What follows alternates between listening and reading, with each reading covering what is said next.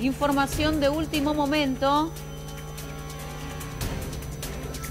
Se incendia un edificio en Flores. San Pedrito y Rivadavia. El siniestro comenzó alrededor de las 8 de la mañana en uno de los pisos superiores de este edificio que estamos viendo en imágenes, situado en Avenida San Pedrito entre Rivadavia y Ramón Falcón, sobre una sucursal de una cadena de supermercados.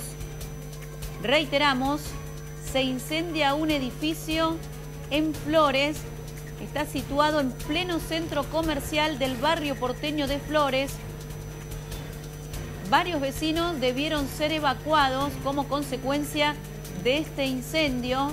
Comenzó a las 8 de la mañana en uno de los pisos superiores de este edificio que estamos viendo ahora en imágenes aquí a través de la pantalla de Canal 26.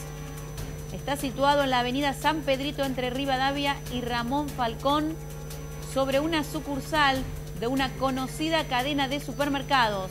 Reiteramos entonces Varias dotaciones de bomberos están trabajando en el lugar.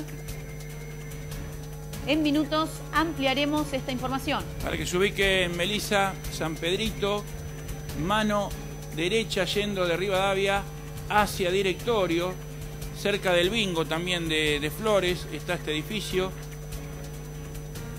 Gran caos de tránsito en la zona también se ve por qué, porque ahí está la estación Nazca del subte A y eso es cabecera de, de subte y además es un nudo clave para varias líneas de colectivo que pasan por el lugar.